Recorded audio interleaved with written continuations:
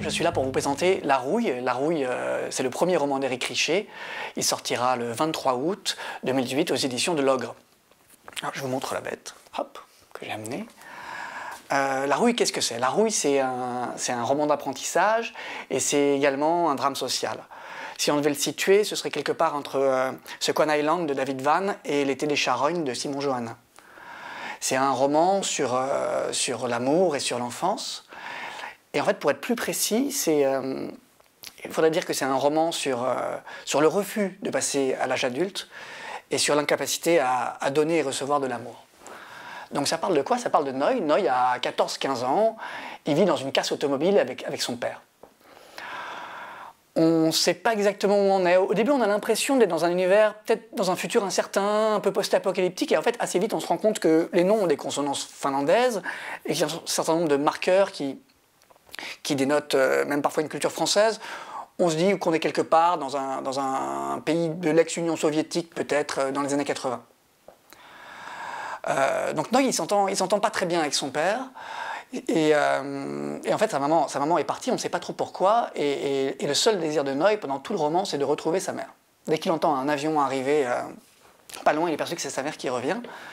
Mais en fait, Noy a un problème, et il y, a quelque chose qui l'empêche plus ou moins de partir à la charge de sa mère, c'est que Noy se défonce la tête en permanence avec tout ce qui lui tombe sous la main, avec euh, du triclot, de l'eau écarlate, et en fait, son, quotidien est principalement fait de ça, de défonce. Et d'ailleurs, dans ces cas-là, quand il est vraiment défoncé, euh, apparaît une sorte de, petit requin euh, imaginaire, a priori, flottant comme un ballon de baudruche d'un enfant, qui l'accompagne partout et, qui symbolise, et qui en même temps lui permet de tenir et en même temps symbolise son, refus de beaucoup de choses. Alors il, est dans un univers où il est entouré bah, de, pas mal de gens, il y, a, des forces positives et des forces négatives, on va dire. Donc les forces positives, il y a son oncle Otto, le frère de sa mère, qui vit sur une base militaire et qui l'alimente en films japonais et en nouvelles musiques euh, ou Mute, euh, une jeune adolescente muette avec qui il y a un tout début d'histoire d'amour, en tout cas un potentiel d'histoire d'amour. Et de l'autre côté, il y a Larry, un, jeune garçon avec qui il se défonce la tête et avec qui il fait des bêtises.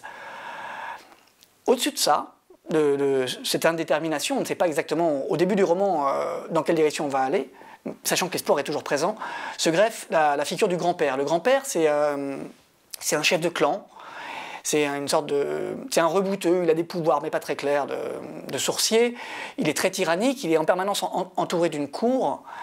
Et, c'est important pour lui. Donc il, a tendance à, terroriser son fils. Hein. Ça, ça n'est pas dit. Son fils qui est un taiseux et qui, a très peu de rapport avec Noé lui-même.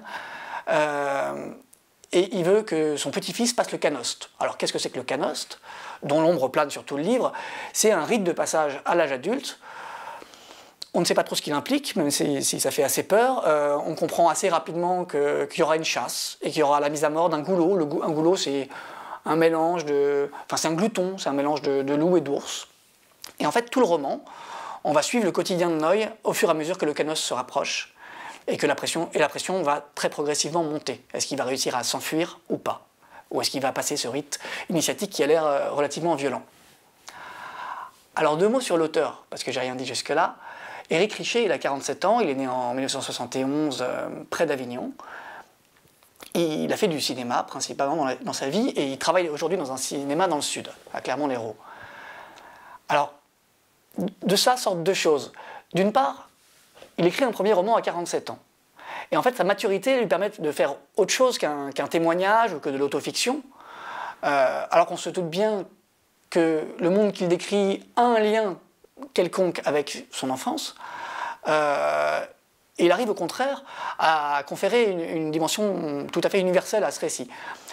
De plusieurs manières. La manière la plus évidente, c'est évidemment que ce floutage géographique qui fait qu'on est absolument partout, qu'on pourrait être n'importe où dans le monde, euh, il y a 20 ans, il y a 30 ans, c'est pas très clair. La, deuxième euh, dimension universelle euh, qu'il arrive à apporter à ce livre, et qui est là est proprement extraordinaire et, qui réclame une certaine distance par rapport à, son matériau, euh, c'est l'amour l'amour qu'il porte à ses personnages en fait. Il n'y a pas de bourreau, il n'y a pas de victime. même, le, père, dans ce qu'il a de plus minable dans ses rapports avec son fils, reste, digne d'amour. Et on est juste face à, à des terribles malentendus. Donc ça, c'est pour la maturité. Ensuite, un, deuxième élément important, c'est le cinéma. En fait, donc il vient du cinéma et en fait, ça se, sent à chaque page. ça se sent dans les dialogues. Alors ça, c'est, je ne sais pas si Eric est, scénariste, mais quand même, il a un don très très rare. Euh, les dialogues sonnent justes. Et ça, c'est excessivement rare hein, dans les manuscrits. Les, dialogues sont pas, pas du audiard, c'est juste qu'ils sonnent justes, malgré toute leur brutalité euh, leur, et leur saleté, on va dire, leur crasse ils sont d'une grande justesse. Ensuite, il y a évidemment le sens de l'image, où, Eric a réussi à créer des images prégnantes qui, nous ont hantés, Benoît et moi, pendant, pendant des mois, justement, depuis notre première lecture du manuscrit. Et enfin, il y a un certain sens du montage ou du rythme, qui fait que plus on avance, plus le rythme s'accélère, plus c'est monté de manière euh, dynamique, on va dire, jusqu'au canost, et dont on attend les roulements. Et en fait, donc, ça devient assez rapidement un thriller, ce livre. Donc, pour conclure rapidement, euh, d'abord, c'est un livre à la fois sombre et lumineux, il y a toujours de l'espoir, et c'est quoi qu'il arrive bouleversant, et on a une sorte de promesse euh, à vous faire, c'est que si vous commencez le roman et qu'au bout de 10 pages, vous avez accroché, non seulement vous allez le lire d'une traite, mais vous serez marqué à tout jamais, ça c'est sûr.